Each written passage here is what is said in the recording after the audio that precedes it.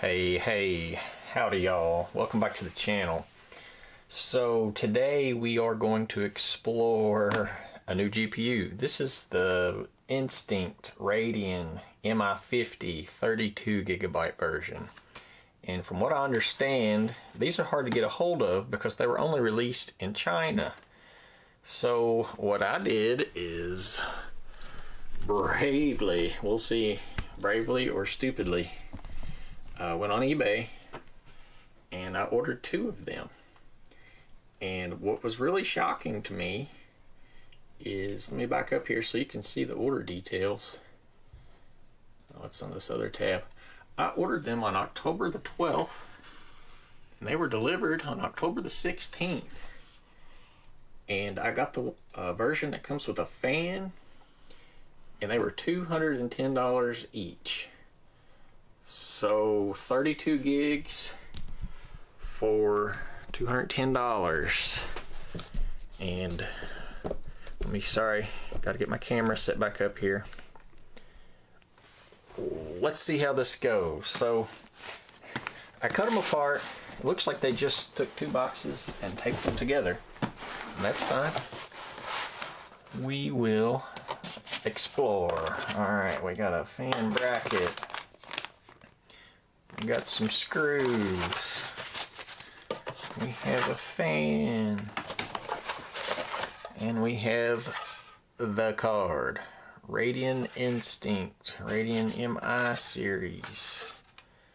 Uh, Radeon Instinct MI50. Looks legit. Looks legit. We'll see. Let's give it let's give it a run. Alright, let's get the card. Get the fan hooked up.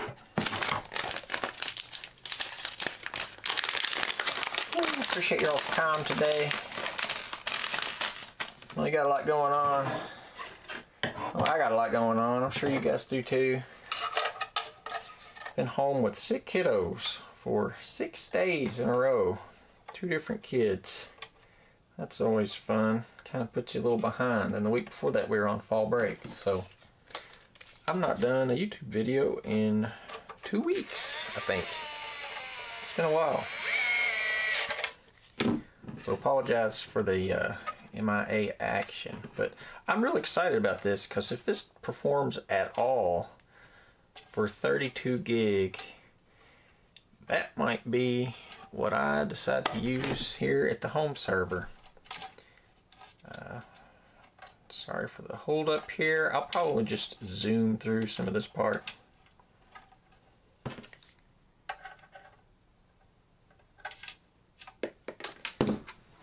Yeah, definitely will.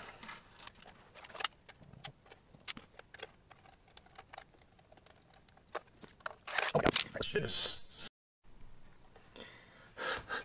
Alright, so that was harder than it should have been. All I did is put two screws on the fan bracket here, but I wanted y'all to see this. So they've sent this large squirrel cage fan. I believe this is a 20 mil depth and it has a considerable amount of overhang on this GPU. And I don't know if y'all can see in there, but it's mm, a lot of room for air to travel. But if you don't get a good seal, it is not going to do much. So, uh, we'll see what happens. And if we need to make a change, we will think, yeah, we're supposed to go this way.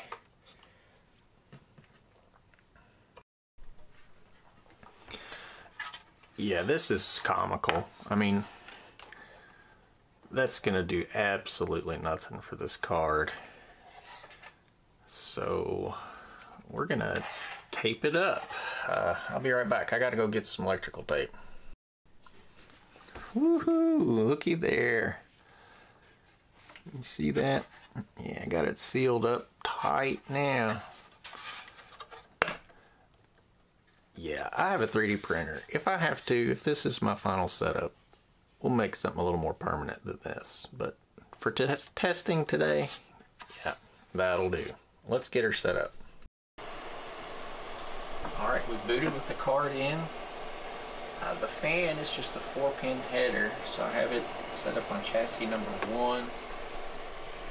Uh, I, I, don't have a mini display port uh, to connect, which is right here on the card, so I'm just using my internal GPU. It's a 9700X AMD.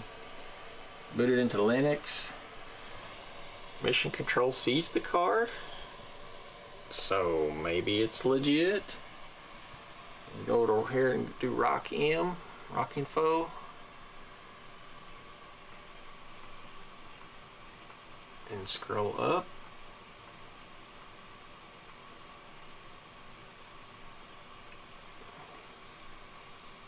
And it sees the card. Of course, I've been using um, using this Linux Linux instance for other AMD cards like the 570 RX 570. Yeah, the old school, the Polaris architecture, and this seems to be working. Python not found. Okay, it's Python 3. Apologize for that. Okay, we're running our benchmark again. It asks the model to explain the fundamental principles of quantum physics etc etc etc I've explained that in another video I can't remember it right off the top of my head but then it just sits and waits for an answer and our instinct is running 100% clock speed is up there Let's see what our temperatures do man this is tough to read this is an ultra wide panel 75 hertz I believe so I apologize if you can't see the screen when I get in there. I am using my Lumix G85 today. 63. So let's sit over here. Let's wait on some results from our benchmark. My camera set up.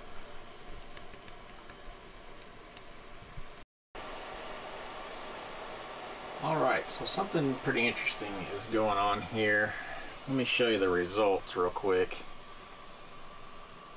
It did really, performed quite nice initially.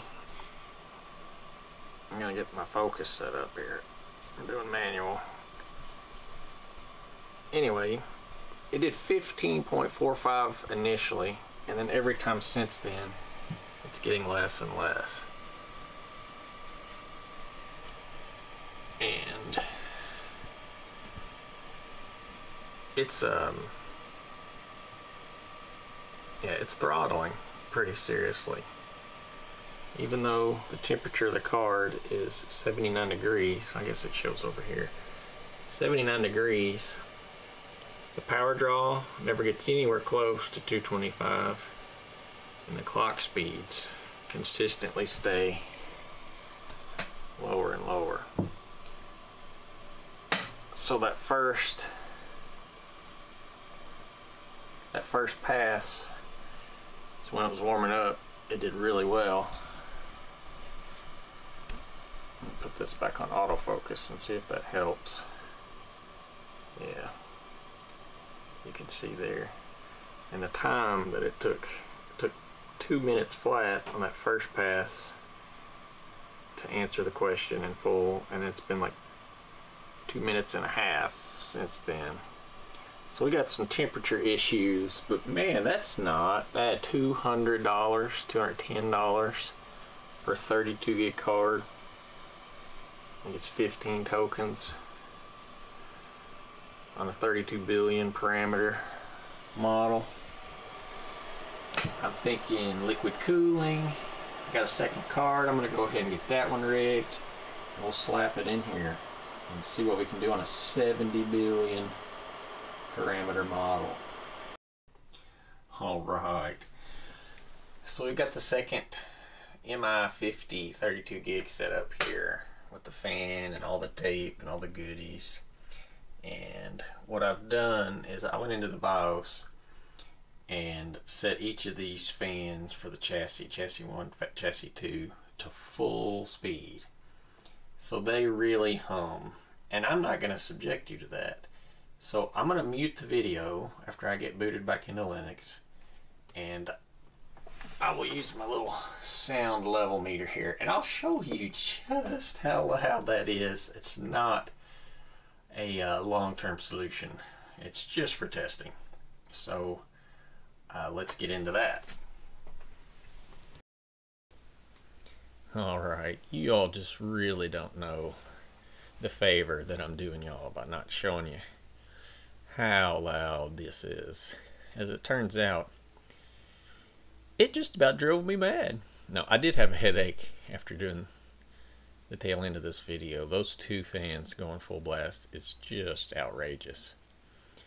So I can easily see myself looking into uh, either cutting a hole in the fan shroud or the GPU shroud and putting a fan on there or just removing the shroud and then designing up, uh, modeling up and 3D printing a, uh, a fan bracket for the MI50.